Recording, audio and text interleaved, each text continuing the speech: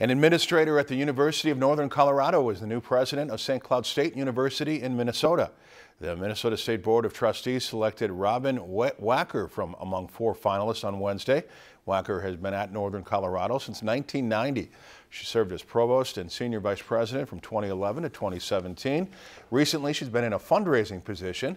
Wacker will start at St. Cloud State on July 1st. The school has been without a permanent leader since the death of University President Earl Potter III. He was killed in a car crash in June of 2016. If you enjoyed this segment of Lakeland News, please consider making a tax-deductible contribution to Lakeland PBS.